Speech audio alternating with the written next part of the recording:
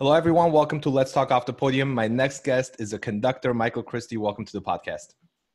Hey, it's great to be with you. Uh, so, the first question recently I've been asking um, my guests is uh, what you've been doing recently. And I know the past three or four months you've been busy uh, using all sorts of different social media and uh, videos to keep in touch and uh, with your audiences and musicians. Tell us a little bit about that. Yeah, it's been a busy time. Um, I've had a like most people a huge um, requirement to learn about all the social media platforms because I had been doing what everyone else like basic posts, but to get into the into the machinery of YouTube, etc. Um, so that's been exciting. I've posted I think twenty uh, playlists on YouTube, all topically uh, related to things that are going on, but also some regional things. Uh, so that that was. Um, a good learning experience. Um, connected me to reconnected me to a lot of different kind of music. Um, with my new West Symphony, we've been um, we've been really trying to explore um, like how, how we stay in touch with our patrons who have such varying levels of ability online. Um, and the most recent thing we did was uh, we called the Battle of the Sections. Mm-hmm and we had our players we we we we broke the orchestra up into four sections uh, strings brass woodwinds and percussion. And then we we put them with each of those sections with a different composer and um, and, and a topic. So they had to choose uh, either upbeat downbeat heartbeat or dance beat. Oh, wow. and then we we did this thing where I, I just said to the composers like i want a spiritual i want um, the greatest known classical pieces and I want them all mashed up and I and then we had the audience um, bid financially their support. Like mm. I'm supporting team brass. I'm supporting team percussion. And a lot of that was like their kid used to play French horn so they supported team brass. And so that was pretty cool. It was very time consuming um, and now it's uh, it's a lot of attention on the fall and the spring. Um, so like everybody we've postponed a number of events uh, but we are using the skeleton of the, the planning that we had as the basis for uh, what we're planning to do uh, in the fall and the spring. We're, our organization, at least at this point, is not going to go dormant. Hmm. So, you know, there's a lot of positives and negatives with this whole situation. Uh, what are some mm. positives, hopefully, uh, and what are some quite a few negatives you know canceling the season you know the soloists and the premieres that you might be you might have programmed you know it might not happen. Positives and negatives of this whole situation. Well i think the positives for sure is that we as an industry have been um, bizarrely uh, skirting the line of online mm-hmm. events and this just has jammed us into something that's been coming for a long time.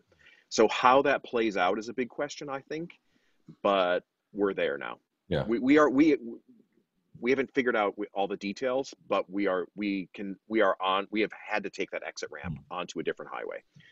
So that's good. Um, I think it also forces us to imagine a hybrid reality. So I call it the Borkestra now. So like we're half half human, half half machine, and um, I feel like the organizations that can get their heads around what that looks like and not be apologetic about having part of their existence be online are going to be the ones that have I don't want to say more opportunity, but certain a different a different group of people they can reach. So I think that's extraordinarily, extraordinarily positive. It's really forced people to um, think think about that. Um, negatives, um, obviously, being away from your patrons, um, the hit on individual musicians has been just staggering. I mean, the for having people go from their normal pulse of activity and the income that comes from that to zero. Mm.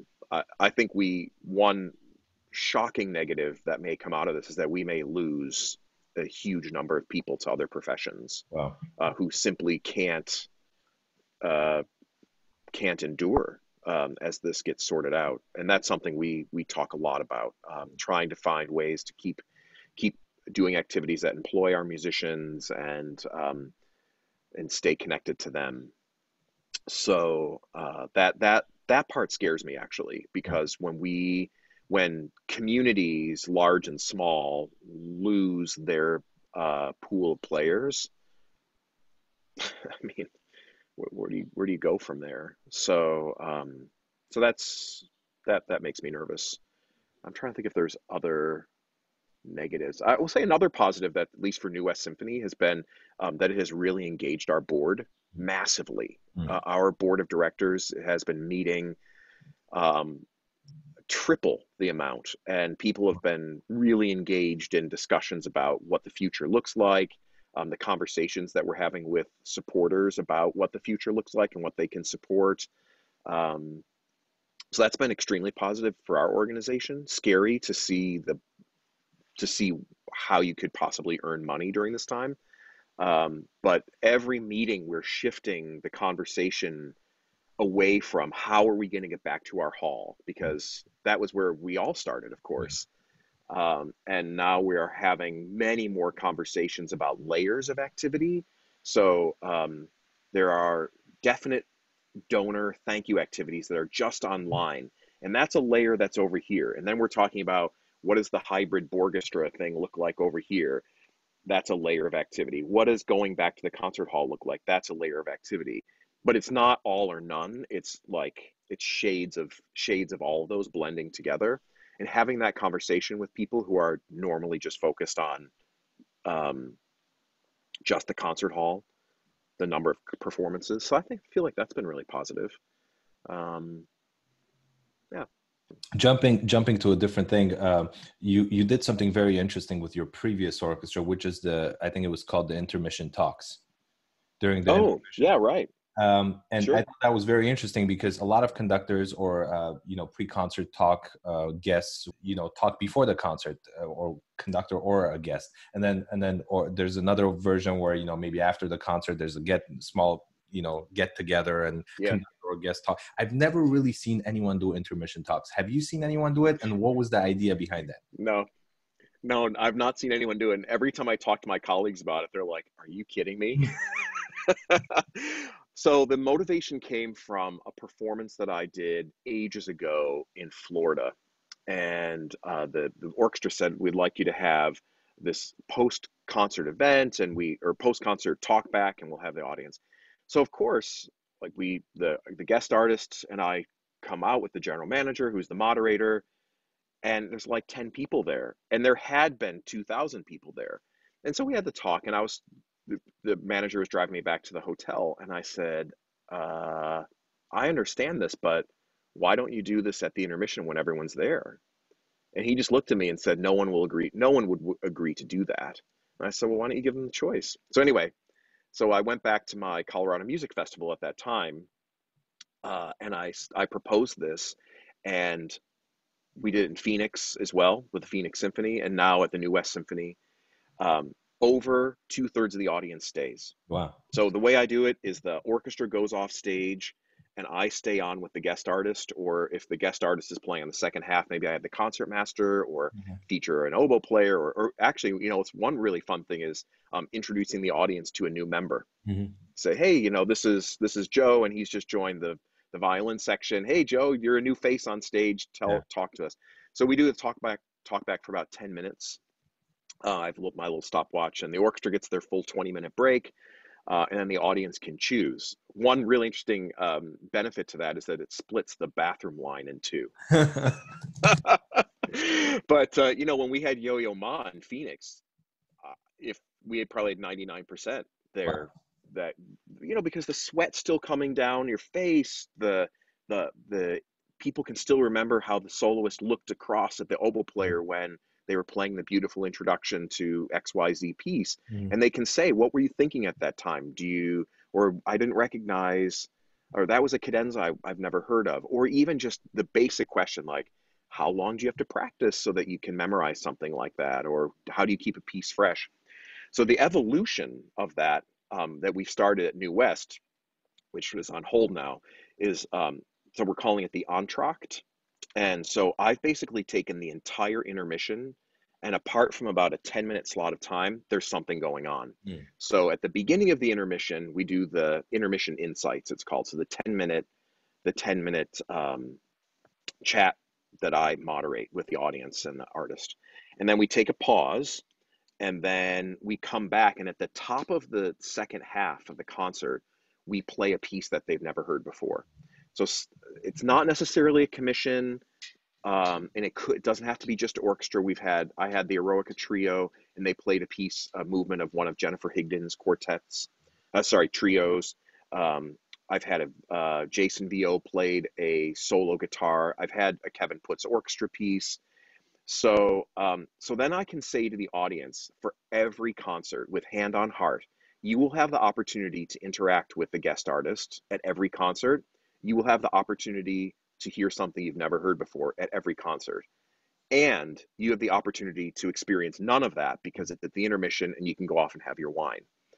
And it's been fascinating. So we've had about two thirds of the people stay for the um, the chat, and virtually the entire audience come back to hear the new piece. Wow, that's amazing. I, I mean- it's really I, I'm super stoked to continue to figure out how to do that um, because I think I think that audi- that intermission is incredibly fertile ground, and it's been fascinating. We've had two thirds of the audience stay for the uh, intermission insights interview component, but we've had virtually the entire audience come back at every concert to hear the new piece, Mhm. and I think that just says to me that we are underestimating the uh, willingness of the audience to go down these different pathways and experience concerts in different ways and learn more from us, not just experience uh, experiencing us playing for them, but really interacting with them, which I think is, I think is, it's just it's tremendously fertile ground. It's uh, and it's a lot of the answer I think to um, that that moment when you'll be looking at a pro at a season program and people say, "Oh, proportionally, do we have too many pieces that are new or 20th century, 21st century?" I just say every concert will have it, Mhm. and then we build and but it'd be you know the pieces are five to eight minutes, so typically, so it's not it's it's just a different way to it's a different way to to um, to have people experiencing it, but I think it's very effective.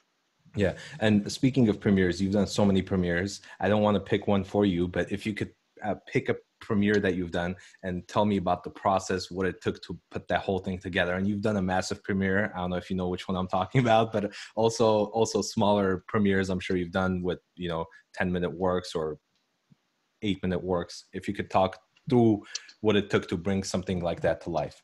Sure. Yeah, I've done a lot of different types of uh, the the birthing of various pieces. I remember at the Colorado Music Festival, I did the Click Commissioning Club, um, where we had people listen to um, representative works of three composers, and then they they through um, I think it was through a blog part of the website they indicated which which one they wanted, and then the composer would go off.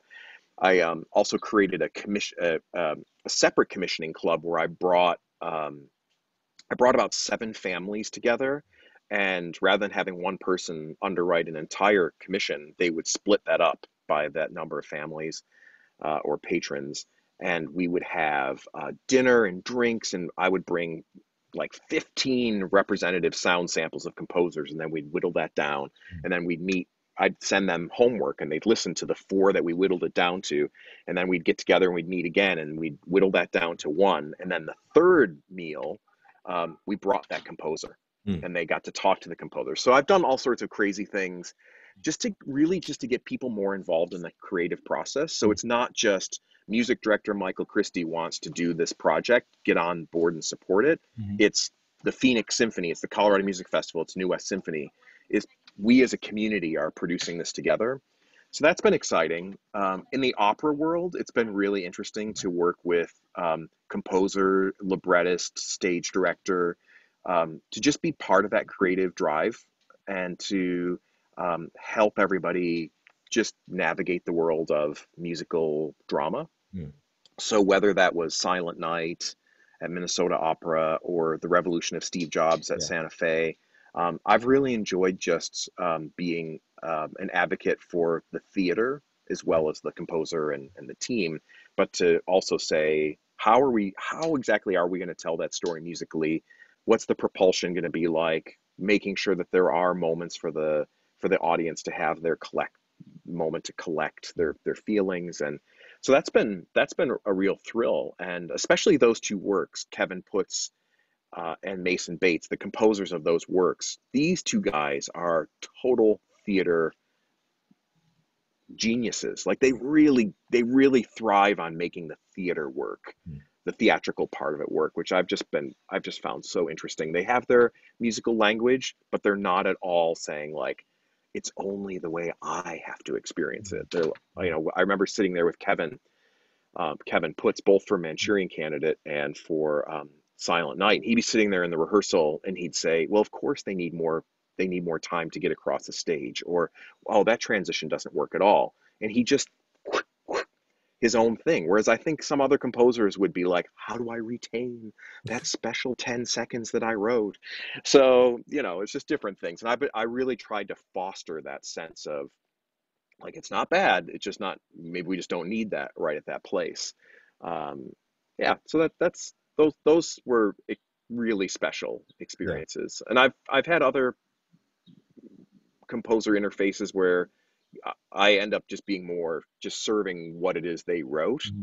and being more like, all right, I'll just interpret what you've written um, rather than being like it, as part of the the creative team, the creative force. So I've I've experienced it many different ways, and it just depends on what their appetite is for input.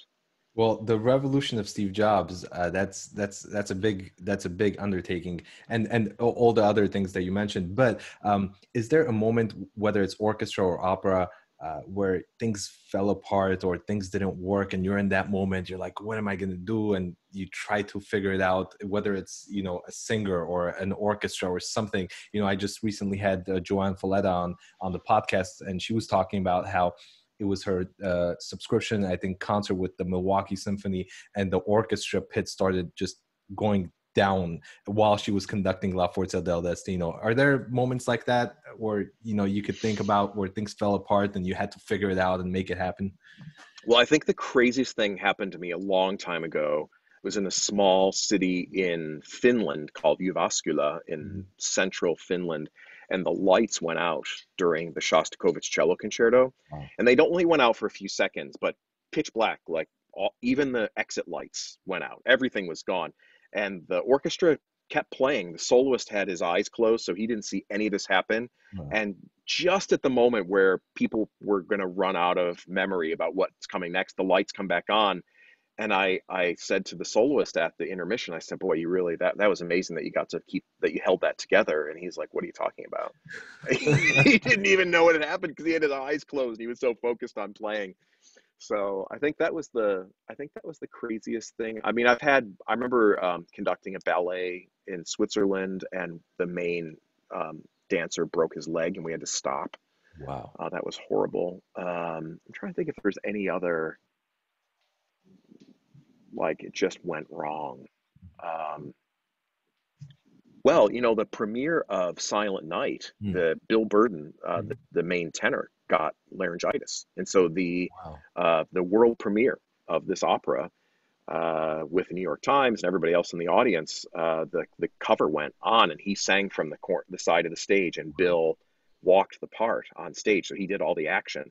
And so, opening night of the world premiere of, of Silent Night, I'm conducting this poor young guy who did a great job off to the side of the pit. Meanwhile, trying to hold all this together under the pressure of of the world premiere. So that was uh, it didn't go that didn't go wrong per se, but that was uh, it got your attention. Wow, that's amazing. and and imagine being that guy who is backstage and and and you know he's put in the situation where he has to sing and and do all this and i know you're prepared for it but it's it's just terrifying. You would never expect that would happen you know? That's right. just as if you're a cover conductor for someone most of the time you're just like nothing will happen. I'm just gonna sit back and enjoy the performance but then something right. happens this one right. time. Right. Oh, man crazy. Yeah. well i want to know about your journey from trumpet to conducting. Why did you go to conducting? I had always been interested, I guess. Like I remember asking my junior high band director what it was he was doing, and he said, "Oh, you, why don't we put you up in front of the group and you can try?" So I remember this piece called Mountain Celebration. I don't know who the composer was. And it was, it was with the the uh, the the middle school band, and I got up there and he showed me how to do a four pattern, and um, you know he he had prepared me, and um, uh, I got up there and he was like, "Oh, like that that seems comfortable." And then uh, the Greater Buffalo Youth Orchestra conductor, um, I was talking to him about this. He said, "You know, why don't we do something at the intermission? You can do like the the the um, the chime, so to speak, to get everyone back from the intermission." So I remember we did um, the fanfare from La Péri. Uh, we did a, mo- a, movement of a Mozart divertimento. Uh, just to so he he could coach me conducting with my colleagues and it was just be I don't know, three minutes, mm. and uh, we were out in the in the lobby. So I had all these little opportunities along the way to um, to experience that conducting, and then going to Oberlin where there's no graduate competition. There is a there is one graduate orchestra conducting student every year, but there aren't there aren't dozens. So um, so that meant all of this the recitals that people needed ensembles for, um, needed somebody to put those together. That meant that um, there was a call, the Winter Term. The Winter mm. Term Project Orchestra needed a conductor that was an undergrad. Um, little church choirs needed a conductor, which I did all that stuff. Um, so it just kept pointing toward there. People would say, "Oh, you're, you're comfortable doing that. You should just keep going." And then um, my trumpet teacher was the leader of the brass guild mm. and he he got ill unfortunately and he had to um, take some time away from school but none the faculty conductors didn't have time for that so under the direction of a really great guy named tim weiss who was the um, contemporary music and wind ensemble director at oberlin um, he was my he became my advisor and we picked programs together but i was i did the rehearsals and the concerts for a whole semester wow so um, yeah, it was just little things like that. Um, I did uh, uh, the sectional rehearsals for the winds brass percussion for the local youth orchestra. It was just one of those things. Like I just was like, hey, I want to give that a try, and people said, oh sure, and then they're like, it was it was mainly people would say, you look, you just seem comfortable up there, so why don't you mm. just keep keep exploring? So I think that was the the big takeaway. So that was kind of how I transitioned.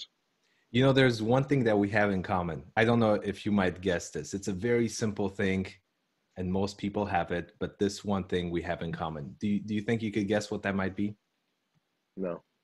Our birthday. Oh, really? Uh, not the not the year, but you're born on June 30, right? Right. June 30 here as well. So nice i think i think in over 120 guests i've had on this podcast is the only time or at least the only time i knew. I was just reading about you. That came across. I was like wow this is this is crazy. I can't believe it. Um, switching from from uh, music uh, and conducting and uh, all of this to something uh, outside of music what are some hobbies? What are things that you're passionate about outside of music? Uh, for a long time i flew uh, I was a private pilot Wow. So I uh, would fly little four seater planes. That was a that was a big thing for me. Um, I you know I've got my two kids. They're 11 and they're well 12 and six now. Um, my wife's a physician uh, mm. in the intensive care, so she's been dealing with all the COVID stuff. Wow. So you know I've been doing being really involved with the homeschooling and um, you know, kind of keeping care of them. So it's been, you know, it's been kind of a wild time as a family, like really, you know, holding everything together during this time. All of us, you know, all of us working toward that. Um, so yeah, I mean, I think when your kids are that age, like it becomes quite functional. Like you, you, you just try to be good at doing keeping the house together mm-hmm. and and doing that kind of stuff. But yeah, flying was my big thing for a long, long time. Mm. Uh, probably about 15 years and um, yeah, I eventually I, I sold this little airplane that I owned because I like I just knew that like everybody has to do their thing about pollution. Like mm-hmm. everyone has to everyone has to be part of the solution for this huge huge problem that's that's looming. And I would turn on this thing, and of course, you know, my, my tiny little engine in the in the grand scope. I thought, you know, why does why is one person able to do that? Like, why is one person able to be up in the up in the sky by him him or herself. And um, so i don't fault anybody from for continuing doing it but for me i just kind of the guilt Hmm. um, became where i was just like this is I, this is not sustainable. Yeah. but i loved it. I loved flying over the rocky mountains. I loved um, i loved flying to gigs. I had a i had a plastic bin that i could take to my opera gigs that had my um, frying pan and knives and all that stuff, and I could stick that in the back. Sometimes I threw my bike back there. Um, so I was really felt very fortunate to experience that. Mhm. Um, and so looking back, I miss it. I miss it, but um, that was my that was kind of I had to have a bit of a change of life Yeah. about that. So um, and you know the I think now in in in the COVID time, uh, just trying to develop skills, Hmm. um, develop um, skills uh, on computer science skills. Um, and then as as I think about the kinds of things we want to present in the future, like there's just a lot of stuff I have to learn. Like just learn about different kinds of music and um, one thing that's been informing my thinking about programming lately is an experience I had in Taiwan probably about six years ago. The orchestra was was this great orchestra, but it was a private orchestra. It was run by the man who um, who owns Evergreen Shipping. Hmm. So the you know those when you see those big when you see those big Yeah. um, um, the ships going across the, the the cargo ships and stuff and it says Evergreen. So he so this guy owned an orchestra. He created an orchestra, and one of the the stipulations about giving concerts was that um, at the end of the concert you had to perform three or four Taiwanese um, popular songs Mm. That were orchestrated. And at first I, I wasn't quite sure what to make of that. Um, I did it. It was great. But how the audience changed after we played our, I think it was Romeo and Juliet and it was a Haydn symphony. Like it was a, it was your normal kind of fun, big, meaty concert. But like the applause after those songs, and I thought, right, right, okay, this is I have to I have to file this away, this experience, because there's something there's something really important going on here about the audience experience, and that led me to the intermission thinking and Oh wow. um, you know just just thinking about like what they what they experience and like the purity of what we try to do. And and and it's creative what we do. Like that pairing works with this and that makes a lot of sense thematically and historically. Um, it's hard to it's hard to drive that point to an audience in the short time that we have with them so trying to figure out like what that mix is and then i've start i've been doing a lot more reading about arthur fiedler Hmm. at the with the Boston Pops with his 50 years there. Um, like his mix, his balance of programming, popular music, orchestral music, of um, the show pieces that he'd have the soloists do, and the and just the unapologetic mix of things, and not being afraid to say, I really like Leroy Anderson, and he is he's got this cool piece called the typewriter, and it's like it's just he did it because it needed to be part of the audience experience. Um, so that's been that's been on my mind a lot Hmm. um, as far as um, thinking about what will pres what we will present online that is attractive to an audience, but then also taking the time to think like when we come back, people are gonna people in our individual audiences are going to say, "Oh, so what what what are you going to do now?" And really being prepared with an answer for that. So it's maybe that part of our offerings are yes, we're going to go back and we're going to do well, we'll be unfortunately we'll be past the Beethoven here at this rate, but um, yes, we're going to do anniversaries, we're going to do this stuff, but actually maybe in addition to the intermission stuff, maybe we will carve out some time to just say, this is one of our great local composers who's done a, Yeah. an amazing five minute arrangement of XYZ. And we just do it because we should. Yeah. Like it's music and it's good. And um, so I've been thinking a lot about that, like that, what that balance in the mix is going to be. Um, because pe- there will be an appetite. People want to know what it is. Um, and I think we can't wait. We can't wait until everything's back open again to take stock of what it is that we're doing. Yeah. Um, and that's been on my mind a lot. Going back a little bit uh, early earlier in your career you were uh, very s- successful as a as a, in a competition.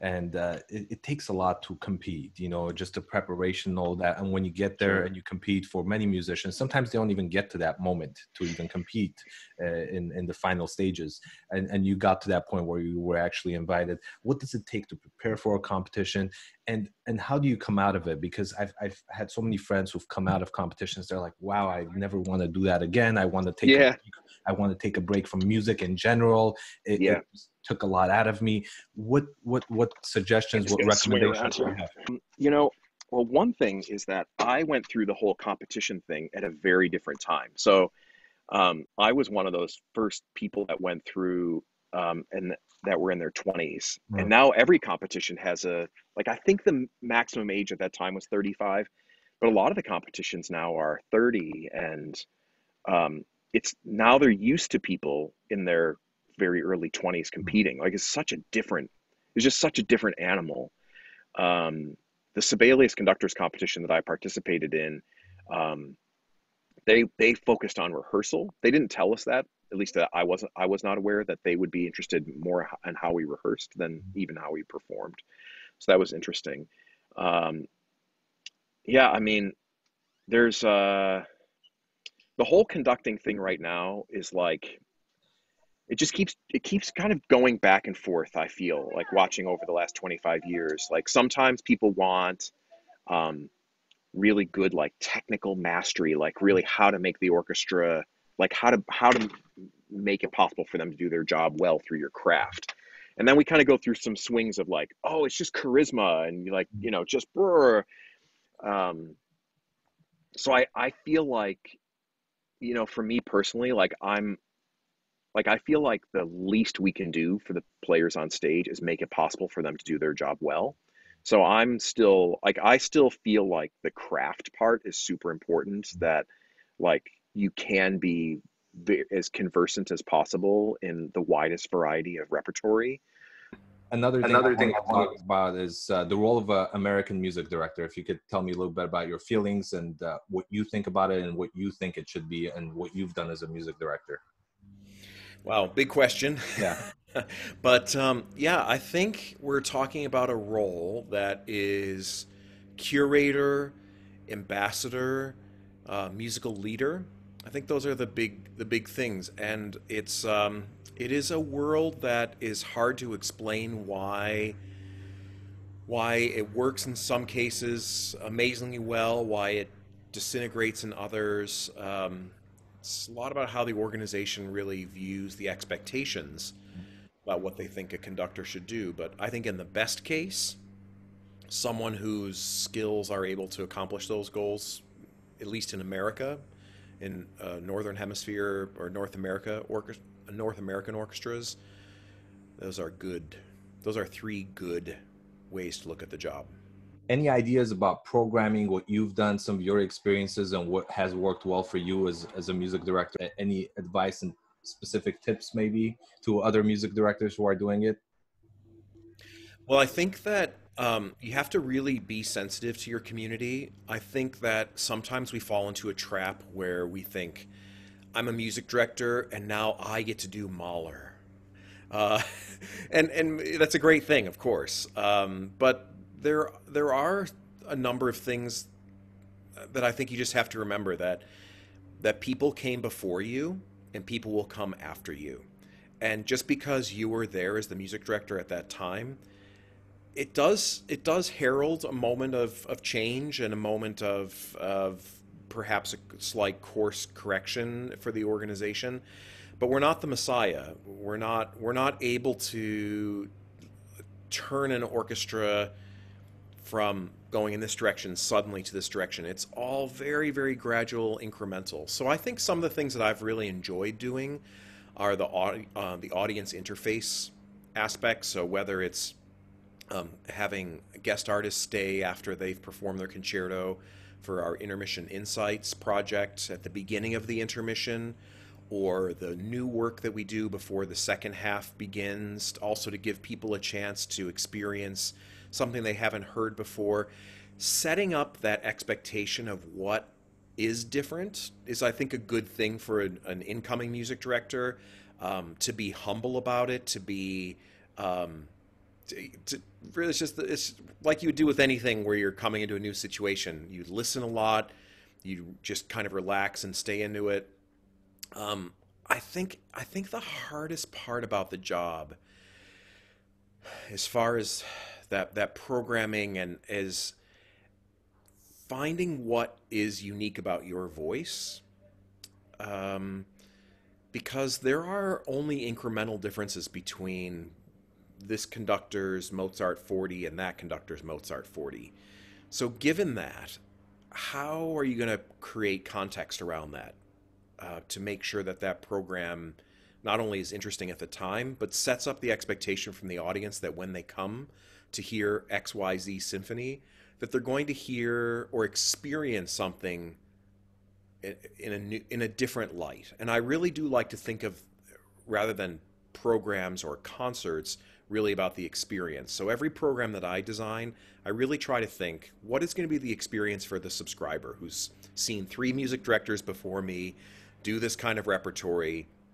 What's the experience going to be for someone who maybe has come in during the transition period and what's going to be the experience for the person who's hearing the symphony for the first time.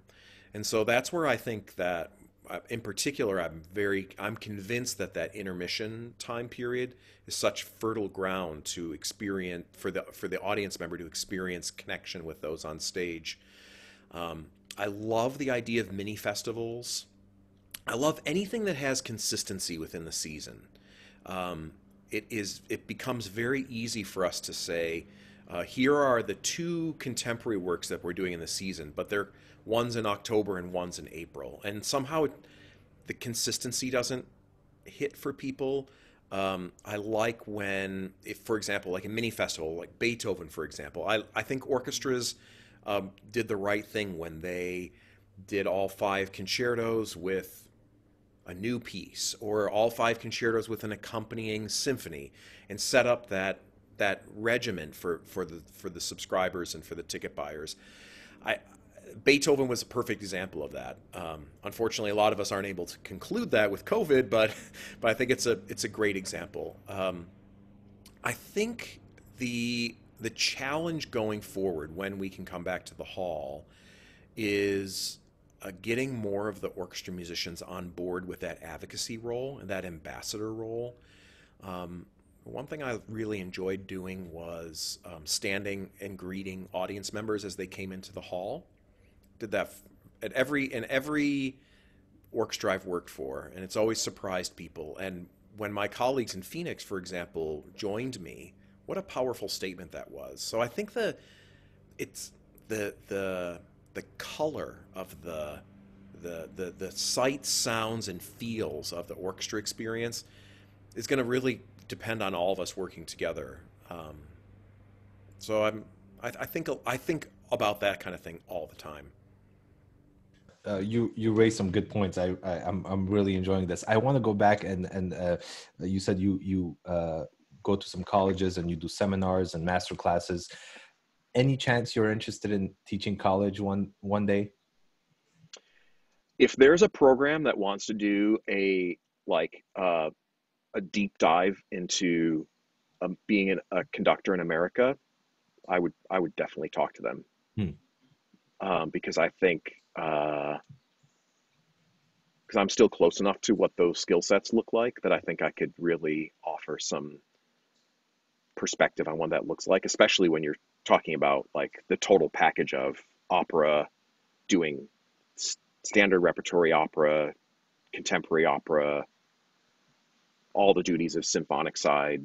Like I, I can still i could still offer that. But yeah if a program wants to do that i'd be i'd be interested to talk about that because i think i think that's some like a duty i could i could help with. Yeah. Uh, going back this is a question that i've been asking all my guests especially recently the past 30 or 40 episodes. A life-changing moment both a professional life-changing and a personal life-changing moment if you're willing to share some personal life-changing moments. Um, I think the personal life changing moment would probably be knowing that, uh, hmm, probably when my wife agreed to come to the United States. She's Australian. Mm, okay. Um, and we, uh, so she's a physician, as I mentioned before, and she agreed to come to the United States and have, and we would have our married life here. I think that made me more US focused, like I want, or more North America focused, that I wanted to return that to her as well, like not just be going over the Atlantic or the Pacific Oceans all the time. So I think that was a big that was a big thing that focused me more on this hemisphere.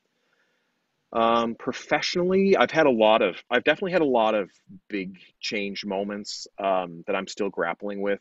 Um, you know, real um, decisions that I made, um, whether whether it was like weaving in and out, in and out of opera or symphony. I think actually that those decision those inflection points have been really um, really big because in some ways it probably slowed me down in certain like it probably slow going towards opera probably slowed me down on the symphony side and being affiliated with the symphony probably slowed me down in certain opera side. So like those were decisions but i was i really was confident that those were the right things to do like to grow and mature artistically.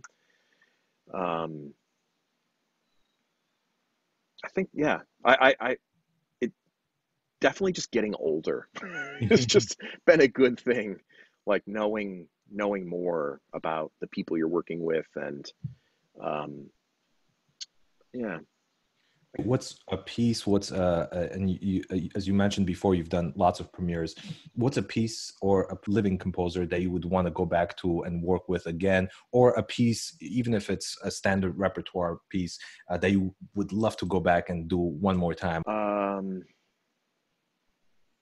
living composer. Living composer or even the standard repertoire piece that you can't wait to go back to and conduct one more time uh, probably Mahler Sixth Symphony. oh, okay I can't wait to go back to that one. I would love, I would love to work on a project from the beginning, if time would allow, with John Corigliano. oh, okay Um, I really like John. I think he's like, I just, I, he's got a an openness toward things. Um, he's a living composer. I Mhm. think, I think that'd be fun to, to work with him again. I, I, I had a, a lot of earlier experiences with um, pre Haydn. Mhm. So, you know, I was practicing cornetto with our, our mutual friend, Kris Kwapis, yeah even though she probably would laugh because, you know, I was, I was not sure I was practicing. I was occasionally interfacing with cornetto.